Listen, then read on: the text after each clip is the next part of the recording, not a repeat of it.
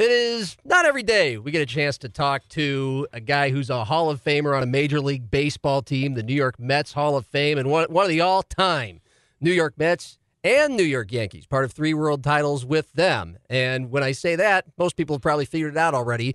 Dwight Gooden, Doc, is in Sioux Falls today. And he joins us now on Sports Talk with Craig and John. Welcome and, to town, yeah. Doc. Hey, thanks for having me. So the natural question is, what is Dwight Gooden doing in Sioux Falls? I actually, here visiting a good friend of mine, Dr. Lou George. Um, here for surgery as well. Um, he's, a, he's a great, great, great friend. I should say family member now, but um, had some problems, had some um, infections, and um, I ended up meeting George at his birthday party, and became good friends, and then found out the type of practice he do, which was uh, good. I had a problem with my mouth. Um, I was lucky that over twenty some years of tobacco use, that it wasn't cancer or anything like that. It was just an infection, and always had a problem, you know, going to the dentist. I had a big fear of doing that, and um, he made me comfortable. We talked about things we would do first, and first time I ever came to a dentist without my mom. uh, she's always bring me, but um, I felt comfortable with him. Even coming in his office, I just had this thing where when I was young, I had a tooth ejected without them, you know, using Novocaine, and I just had this fear that I never got over. Which I met, you know, Dr. Lou here and his team, and um, I must say now I feel comfortable going to the dentist. My mom would have never thought in a million years she would hear her son say that, but they do a great job. And not only do they care about just you know doing the business, they stay in contact with you, make sure you're okay, and they care about you as a person first, which I thought was very unusual. But also, I love that about them. That just speaks volumes of their heart. Dr. Lou George is with uh, Siouxland Oral Surgery, and of course, uh, Dr. George, uh, big time Mets fan. Uh, how did you two, though, actually meet? and when? Yes, well, we met. I guess about I guess been close to four years now. Um, I was actually doing a thing in um, Iowa, at, um, Field of Dreams, when they did the Kevin Costner movie. Um, they're playing a charity softball game, and uh, uh, my agent, Dr. Lou's wife, contacted him about coming to his surprise birthday party. And so I said, "Sure, I'll do that." I mean, to me, I, I love all my Wow. I love my fans, and um, anything I can do with, for the fans, I like to do that. And I came here, I met Doctor and his family. They're very nice people, and I just felt like I fit right in. I mean, it was like meant to be. We not connect. knowing, not knowing that eventually you'd be doing having some dental work done. I had no idea of that when I, when I met him. It's, it's amazing how the good Lord works, and um, we hit it off. I told him, I said, "I'll be back. I'll be back to visit." He didn't think I would. I said, "Yeah, I'll be back." I didn't know I was coming back for dental work, but it worked out. And um, we came, I came back to visit him. Good friends. We just got to talking, and he was what kind of work you do. I said, "Really?" And I was telling him about my thing, and we got some pictures and all that. He said he could do some work, and you know, give me that bright smile again. And here I am. He's Dwight Gooden, 1985 Cy Young Award winner, world champion with both the New York Mets and the New York Yankees. And his doctor, Lou George, Siouxland Oral Surgery, is also with us. And I, I, this is incredible because you're from the New York area. You grew up a Mets fan, and or you grew up a Mets fan. Yeah. And and, and, and you met him just a few years ago, well after his career was over. And Doc's story is so public, so well documented, the ups and the downs, but starting with being the youngest major league pitcher to appear in an all star game, to start in an all star game, and the 86 title with the New York Mets, the 85 Cy Young. I, and I know you're not a Yankees fan, but the comeback story was pretty cool as well in the late 1990s. So when, Absolutely. when you somehow were, were able to come in contact with him, uh, I mean, explain meeting him and what, what it's been like to be his friend. Well, um, thanks for giving me the opportunity to kind of tell that little bit of my story. Uh, I actually grew up in uh, Massachusetts, and um, when uh, Doc came up and really started making a name for himself in 1984, is when I really came in, kind of came into my own with my own baseball interests, and and I decided, uh, well, I was going to be a Mets fan, you know.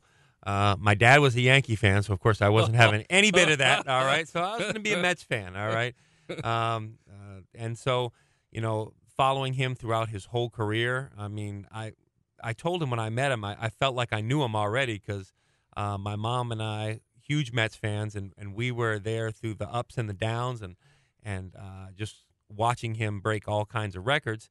So then, um, you know, when all these years later, when honored enough to meet him at my birthday party, and, and first of all, all my friends and family and all my patients know I like to talk We get talking. I don't shut up. But I didn't say anything for the first 10 minutes when he walked out at my birthday party. My wife totally had me. I, I stood there awestruck and then just followed him around, probably like a five year old for the first 10 minutes. Like, I can't believe he's here.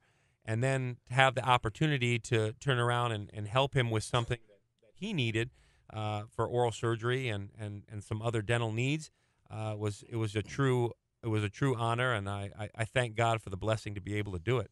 So, Doc, you're uh, you're thinking all the, the problems you've had though was because of uh, tobacco, uh, the, uh, the, chewing tobacco. Yeah, chewing tobacco. I think that was a big part of it. Um, I started chewing very young. Uh, most guys start, you know, when they play professional baseball. Uh, my mom, she's you know Southern girl from Georgia, um, half Indian, and she chewed. And like any kid, you see your parents doing something, you want to try it. I tried it, and unfortunately, I liked it. And so I started chewing and, and dipping, you know, Skoal for a very long time. And then the, I started having problems with my gum, gum bleeding, and so on, um, tooth decay, bad tooth infections. And so it was time. To, I knew I needed some work done, but I was afraid. You know, and just amazing, it's amazing how things work out. Where you just go visit a fan at the time, you know, they help him celebrate his birthday, and it turned out not only be, he became an oral surgeon to do my work, but we became good friends as well. What's keeping you busy today? Today, I do a lot of work with the kids. I still work with the Mets. Um, I work with the minor league pitchers. Um, if, if, they have like a top prospect that's struggling, say an A ball, double A, I'll go there, spend my time with them, see what's going on. I do a lot of public appearances stuff. I do public speakings with teens with addiction problems. Um, I like one place is telling my story high school, colleges.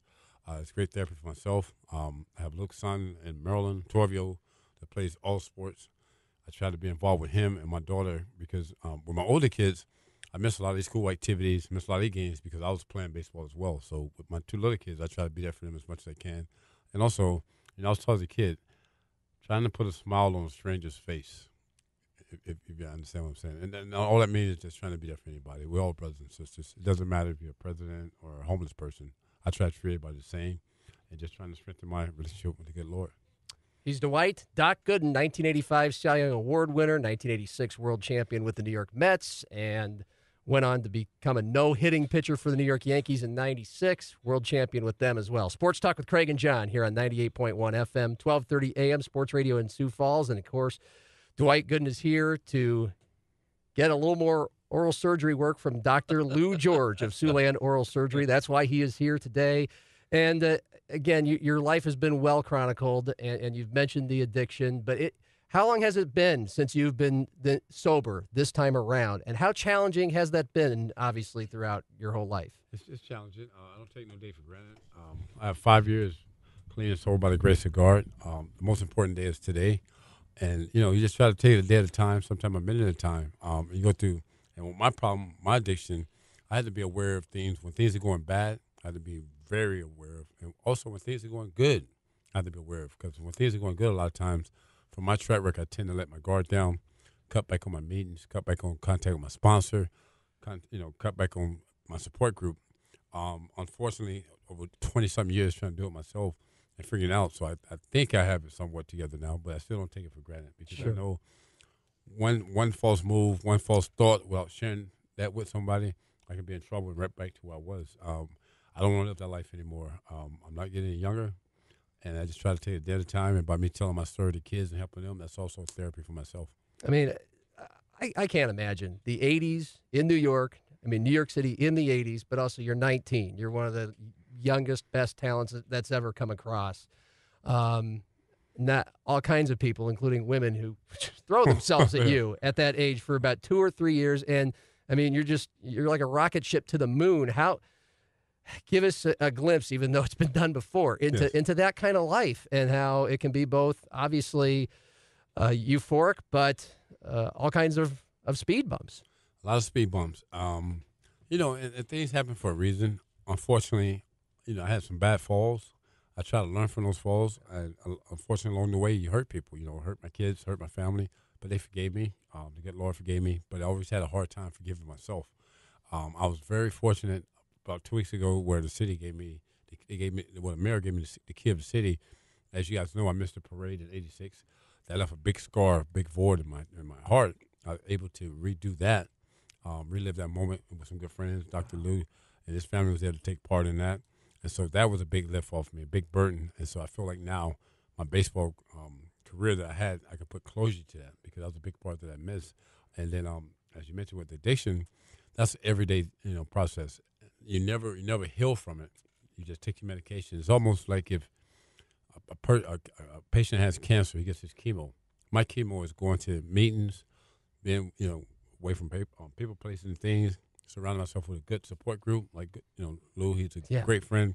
We talk all the time.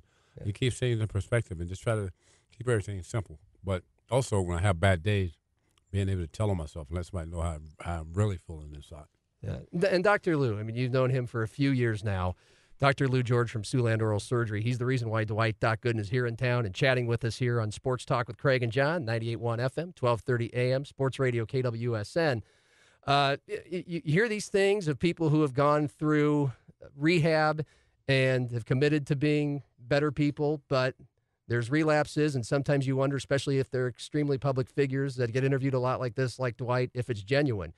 Give us a glimpse into what it's like to be Doc Gooden's friend and how genuine it is. it, it still blows me away. You know, like I said, uh, growing up, uh, knowing uh, this individual as this monumental sports hero, and then getting the chance to meet him as an individual person and become friends. And I'm honored to call him part of my family now, and his whole family just fantastic people.